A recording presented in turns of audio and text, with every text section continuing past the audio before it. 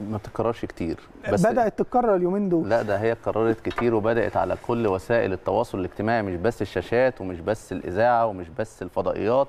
الموضوع بقى كبير جدا والكابتن أحمد حسام ميدو اللي تناولناه هنا مرات ومرات ومرات يمكن عملنا فقرة قبل كده جهاز كشف الصدق. كان هو أول ضيف للفقرة دي الكابتن أحمد حسام ميدو مع احترامنا الكامل ليه طبعا.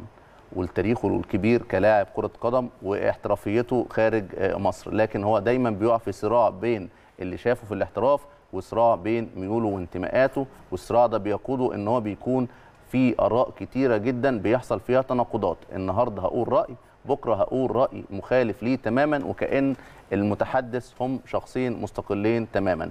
في موضوع السلة الكابتن أحمد حسام ميدو كان له رأي بيوضح إزاي بتدار الأمور اعلاميا من وجهة نظر الكابتن أحمد حسام ميدو. نشوف الفيديو ده عشان عندنا تعقيب مهم جدا.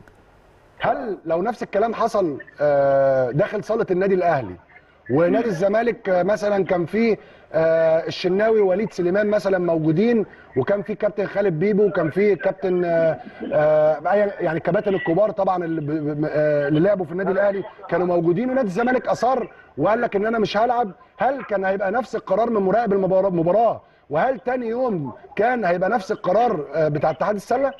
بص بص يا كابتن ميدو أنت يعني أنا عارف إنك أنت عارف ليك في الباسكت كتير ومحمد يوسف. صديق مشترك وأنت بص إحنا على إحنا نظرية المؤامرة موجودة كل فريق أو كل نادي بيشوف القرار من وجهة نظره إن هو موجه ضده ولمصلحه الأندية الثانية المنافسة عندنا مختلفة شوية يعني إحنا عندنا إحنا مش ناديين إحنا بنتكلم أهلي زمالك جزيرة في القاهرة واتحاد سبورتنج سموحة في اسكندرية. وبي وبيخبط فينا الجيش وحاليا المصرية للاتصالات يعني الجيش امبارح لسه كسبان سبورتنج قبل كده كسب الأهلي فاحنا المنافسة عندنا مختلفة. كويس؟ وده مصلحة اللعبة.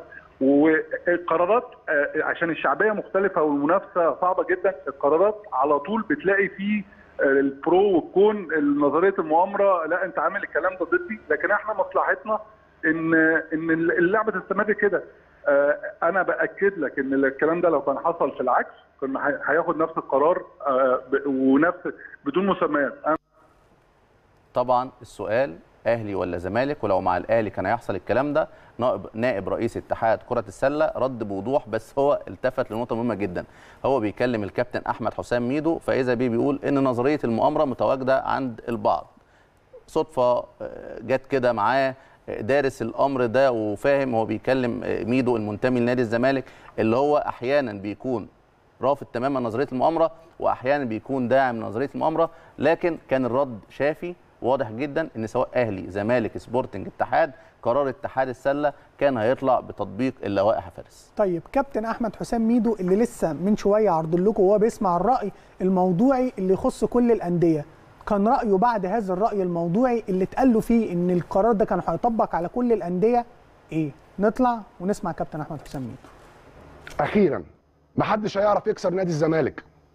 رسالة للجميع. مهما كان مين موجود مين رئيس نادي الزمالك. محدش هيعرف يكسر نادي الزمالك. والكلام ده أنا بقوله لكم بقى إن أنا مش إعلامي أنا كزملكاوي. محدش هيعرف يكسر نادي الزمالك. وشابوه وتحية للواء عماد عبد العزيز بإن هو رفض إن نجوم الكورة يطلعوا بره الصالة. وتغور نتيجة المباراة.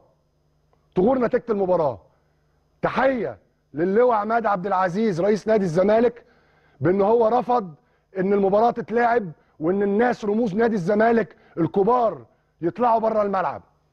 وبطالبه إن هو ينسحب من الدوري مهما كانت العواقب. لأن القرار اللي خرج النهارده قرار ظالم. وأنا بقول لكم وأنا بقول لكم على عكس الكلام اللي قاله كابتن طلبة لو كان العكس ما كانش القرار ده هيتاخد بالشكل ده وبالسرعة دي. محدش هيكسر نادي الزمالك وده قرار ظالم. دي الرسالة اللي اتوجهت لكابتن ميدو اللي كان بيتكلم عن تلخيص الأزمة في إن نادي الزمالك وقع في فخ إن هو تعرض لمؤامرة وإن ده حصل على نادي الزمالك بس. فكابتن ميدو شاف إن محدش هيكسر نادي الزمالك وشابوه وننسحب من الدوري. يا كابتن ميدو زي ما حضرتك بتتبنى أجندة واضحة حاولت توصلها على بعض المنصات امبارح عشان تبرر موقفك. إحنا كمان نحب نقول لك هنا محدش هيضغط على النادي الأهلي ومحدش بيطلع قرارات زي ما أنت بتقول إن أنت بتستنى القرار يطلع عشان لو قلت قبلها كان القرار مش هيطلع داخل النادي الأهلي مش النادي الأهلي اللي كده النادي الأهلي هو اللي بيبادر بعرض قراراته اللي يمكن الإعلام ما بيكونش عارف عنها حاجة. وكمان النادي الأهلي هو اللي ما بيضغطش عليه. ورسالة مهمة جدا يا أسامة لقناة النهار اللي بنحترمها. كابتن ميدو طلع النهارده اعتذر لكابتن فاروق جعفر. كابتن ميدو اتكلم إن هو بيستخدم برنامجه في توجيه أشياء تخص نادي الزمالك وفي الضغط على النادي الأهلي في بعض الملفات والأجندات.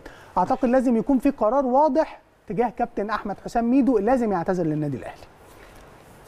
إحنا هنا قبل كده اتكلمنا عن الكابتن أحمد حسام ميدو ووضحنا كل اللي بيحصل حاليا والتصريحات اللي اتقالت من الكابتن أحمد حسام ميدو. بس عشان الفقرة ما تتوهش من المشاهد إحنا هنا اتكلمنا عن كابتن أحمد حسام ميدو اللي استضاف نائب رئيس نائب رئيس الاتحاد وقال له القصة هتطبق على اي نادي. جاء الكابتن أحمد حسام ميدو بعدها خلاص ضرب بتصريحات نائب رئيس اتحاد السلة عرض الحائط وقال انسحبوا وشابوه للنادي وحاول يصور الأمر زي قناة نادي الزمالك في فكرة لاعب بس ما قالش بقى شيكابالا قال هشام يكن ولاعبين آخرين وكأن الموضوع هم لاعبين مش زي ما اتقال من عمر هشام لاعب فريق السلة إن كان أسر اللاعبين كمان موجودة والسباب اللي كان في الممرات موجود. عشان نوضح بس اذا الكابتن أحمد حسام ميدو هنا تبنى نظرية المؤامرة.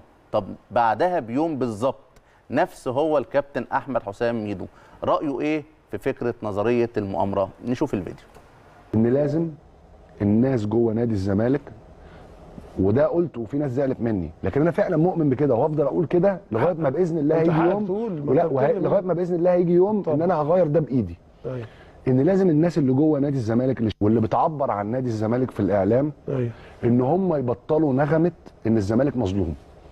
الله ينور عليك. صدقني. الله ينور. وعلى فكرة هتطلع تقول كده. ومش بقول إن أنتوا تعترف إن الزمالك مش مظلوم. خليها بينك وبين بينك وبين نفسك عشان ما تديش الإحساس للعيب بتاعك يبقى عايش على دي. بالظبط. ما أنت هتخلي اللعيب إيه؟ أصل أنا اتظلمت. إحنا آه هيسخن الجميع. لا، أصل أنا. بالعكس، أنا- حتى لو اتظلمت ما أنت تقدر تكسب اثنين وثلاثه وأربعة. ما هو ده اللي أنا بقوله. لأن أنت إن- نادي كبير. أنا نفسي أنا نفسي إن الناس اللي جوه نادي الزمالك والناس اللي بتعبر عن الزمالك في المنافذ الإعلامية ال- ال- الرسمية وغير الرسمية لنادي الزمالك إن هي تبطل إن هي تشتغل على الحجة النغمة دي ليه؟ للعيبة. ليه؟ لأن دي أسهل نغمة. دي أسهل نغمة دي نمرة واحد. نمرة اتنين طول ما أنت بتفكر بالش... بنفكر بالشكل ده خلينا نقول أنا كراجل زملكاوي إحنا عمرنا ما هناخد خطوة لقدام. صح. إحنا لازم كنادي الزمالك نفكر إيه المشاكل الحقيقية اللي عندنا. أقول لك بكل صراحة ما لهاش أي لازمة ولا أي داعي إن أنا دلوقتي أتكلم أقول إيه؟ إن لقب النادي الأفريقي. خلاص ماتت. الزمالك يبقى الناس تبطل. قصة نغمة الظلم والمؤامرة وإن أنا وإن أنا وان, أنا مظلوم وإن أنا كذا وبتاع. على فكرة لأن أسهل حاجة إن أنا اول أطلع أسهل- أول واحد زملكاوي أول واحد متربي في نادي الزمالك وزملكاوي يقول النقطة دي ده الكابتن أحمد حسام ميدو بس قصاد الكابتن أحمد حسام ميدو الثاني هنا مع نظرية المؤامرة هنا ضد نظرية المؤامرة. خلونا نوضح اللعبة بوضوح لأن الكابتن أحمد حسام ميدو وضحها بوضوح. قال أنا أول ما بدأت إعلام كان لازم إن أنا أطلع بعض السلبيات في نادي الزمالك عشان المعلنين عشان لما آجي بعد كده أسخر برنامجي وقال تحديدا أكون أداة زملكاوية في إيد مجلس إدارة نادي الزمالك.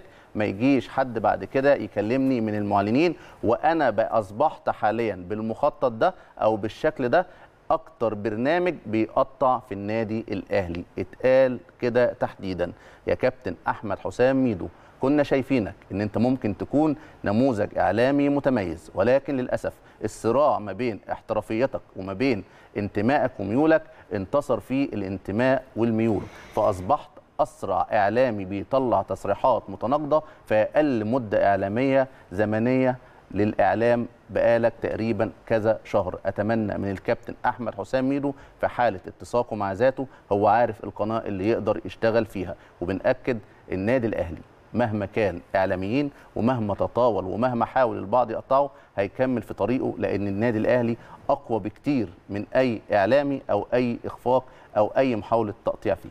وأعتقد المتضرر الوحيد من النظرية دي هو ناديك كابتن أحمد حسام لأن اللي قال قبل كده عن مؤامرة وكالة الأهرام كان هو أنت اللي قال عن بطولات النادي الأهلي اللي تدخل فيها تحكيم كان هو أنت اللي اتكلم عن كتير من المغالطات حتى في قضية نادي القرن كان هو أنت.